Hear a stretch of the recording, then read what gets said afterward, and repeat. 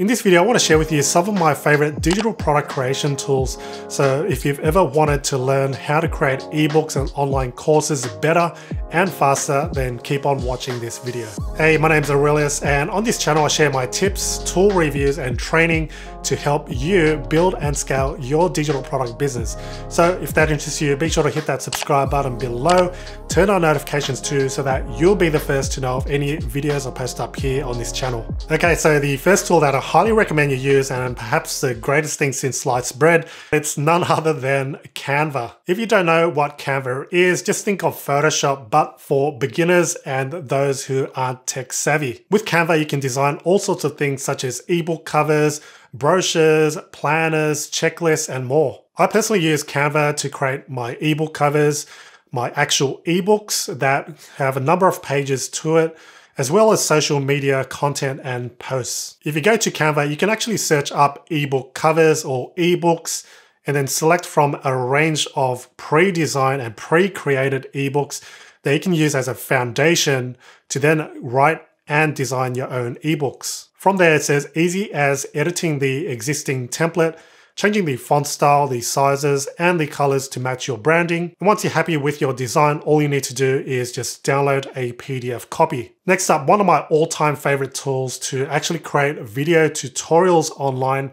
is to use a tool called ScreenFlow. Now, this is a Mac only app and I don't think they have any plans of creating a Windows version, but there are other screen recording tools that you can use for Windows. There's a tool called Camtasia, which can essentially do the same job. Now, these are paid tools, so if you are looking for a free alternative, then check out Screencast-O-Matic. Tools such as ScreenFlow and Camtasia will allow you to walk your viewer or your customer through whatever you want to teach them. All my video tutorials that I record and publish to YouTube were recorded using ScreenFlow. So if you have plans to create an online course of some sort, then one of these tools are definitely going to be your best friend. All right, my next favorite tool and something that's actually sitting on my tripod at the moment, which I can't show you, but I'll run some B-rolls here, which you can see. I use a Canon M50 coupled with a Sigma 16mm f1.4 because I want to make these talking head style YouTube videos,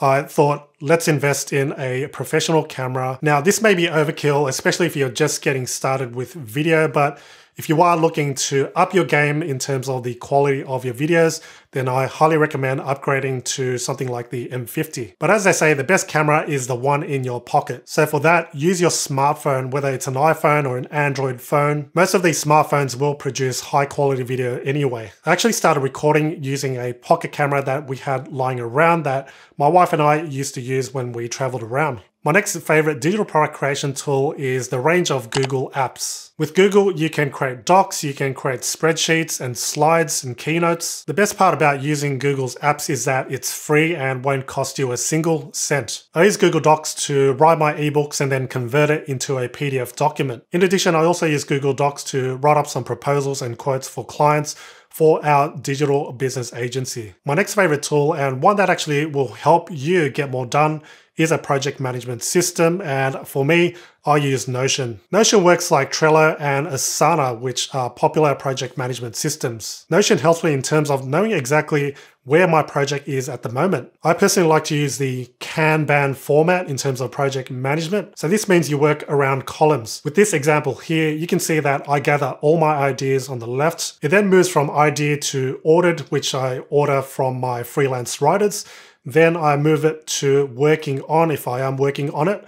Then once it is published or launched, I just move it on to the launch column. So as you can see, this is a systematic way of getting more done, whether you are creating digital products, creating content, or anything else that has to do with projects. So tools like Notion, Trello, and Asana will help you manage your projects better because you're able to also collaborate with other team members, let's say a designer or a writer or both, and everyone can share and know exactly where everyone stands in terms of the project status. All right, so those are my current top five digital product creation tools that I'm using almost on a daily basis. What tools have helped you in terms of digital product creation or content creation?